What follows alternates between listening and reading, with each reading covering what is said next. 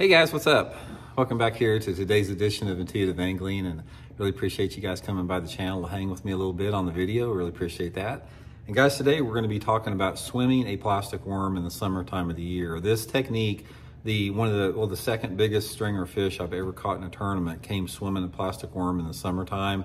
It's a great way to catch big ones. So we're going to give you guys some good advice on how to set the rig up, the baits you need, and the techniques and the areas you need to fish them in in today's video.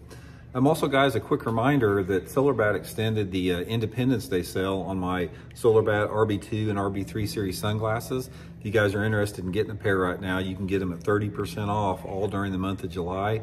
And if you order a second pair, you get that second pair at 60% off. So it's a really good deal. So I'll put that link in the description along with my Fish the Moment lake map breakdown link. So really appreciate that. Okay guys, the I'll tell you a little quick story about this. The second biggest stringer fish I've ever caught in a tournament before, it was, I was fishing a Central Pro-Am tournament up at Truman Lake and it was a July tournament. And I caught a, it was 20, I think it was 25 pounds, seven ounces the second day of the tournament. And I was swimming a big, big worm. At the time, it was a 10 inch zoom worm. Uh, this is the old monster, the old monster magnum I'm gonna talk about in today's video. But um, that's one example, and I've caught a bunch of big ones in other situations in the summer, so we're gonna go over that. So first of all, I'm gonna show you the how to set it up, the best worms for it, and then we're gonna talk about the type of areas that it works best in. So guys, here's my favorite worm setup right here. This is the Zoom Old Monster Magnum. It's a 12 inch, inch 12 inch long worm that's bigger than the Old Monster, you know, Zoom worm. Big fat worm, guys, this is what you want. I like a 12 inch worm in the summertime.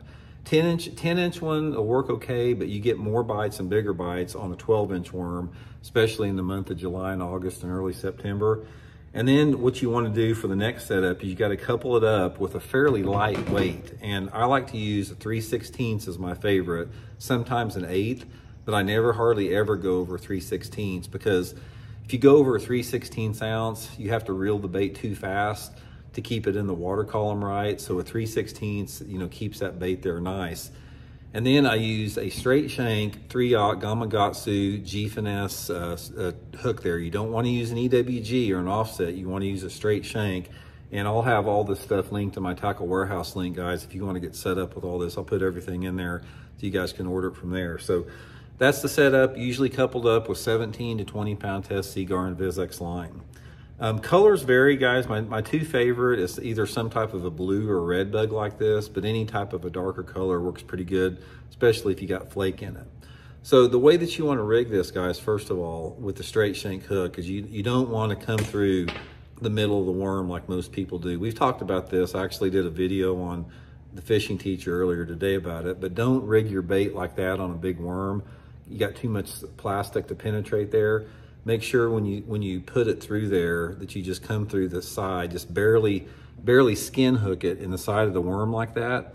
That way when you set the hook on that thing, that hook just comes out real easy, which is really critical. And also don't go above a 3-aught hook. The This 3-aught Gamakatsu uh, G-Finesse, it's a little bit larger than what most 3-aught hooks are, but it's really sharp and really stiff and uh, you just get better hook penetration with a smaller hook.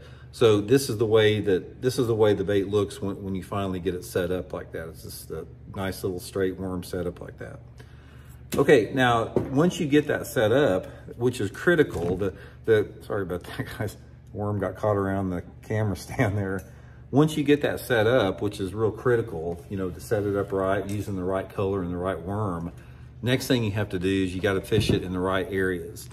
Now this is what's really critical because every lake is not set up for it, but it seems like in most lakes, there's at least some places that you can do that.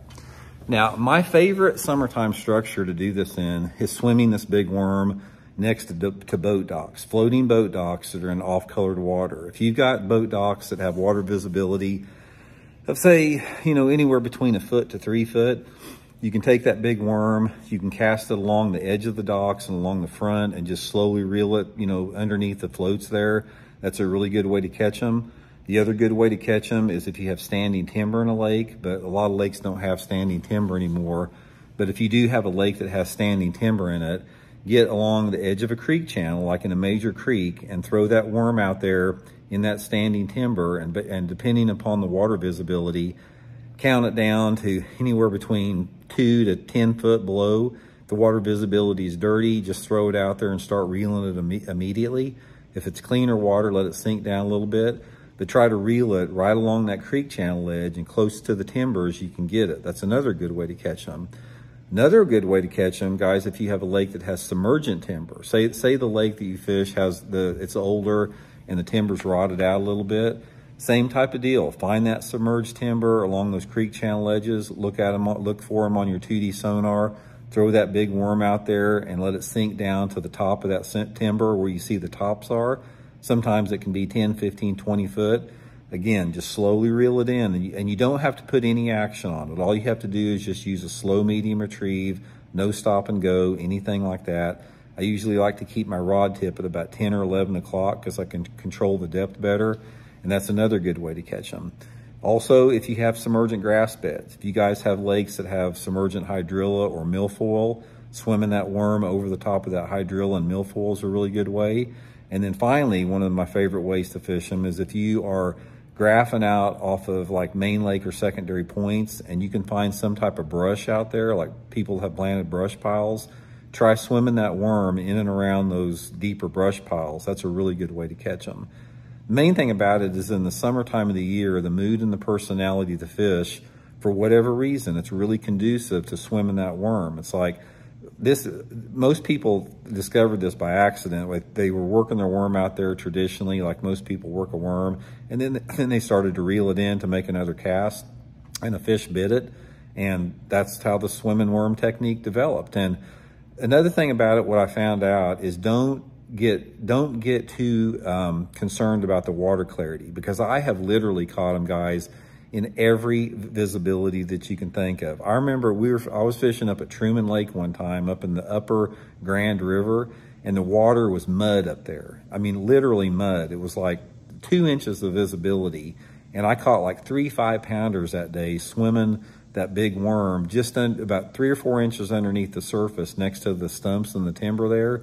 And then also I've caught them down at Table Rock Lake where you got 10 foot of visibility fishing them over the deeper, you know, submergent timber out there. So don't let the water visibility, you know, fool you. It'll work in about any water visibility that you can.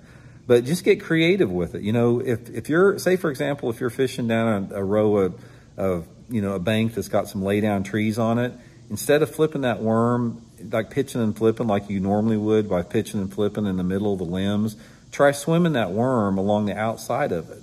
Or if you see a stump, Instead of pitching that worm and letting it hit the bottom, try swimming it, you know, just under the water next to that stump. Sometimes those bass want that horizontal presentation in the summer, and they want that horizontal presentation from a silent lure because that's one of the big advantages why this thing catches so many big ones is it doesn't telegraph itself. It's not like a, a spinnerbait or a chatterbait or a crankbait coming past a stump. It's a, it's a, it's a bait that does not give away itself. It's quiet Yet this, this places some water. It's got a little bit of vibration with that tail. And those big fish really like it in the summertime. So just experiment, guys. Just, you know, next time you're fishing out there and you're catching a few fish, put you on one of those big worms. Try swimming it around the cover you're fishing and see what happens. But anyway, guys, I'll link everything in the description of this video if you guys want to get set up with that. And uh, we'll check in later. See y'all.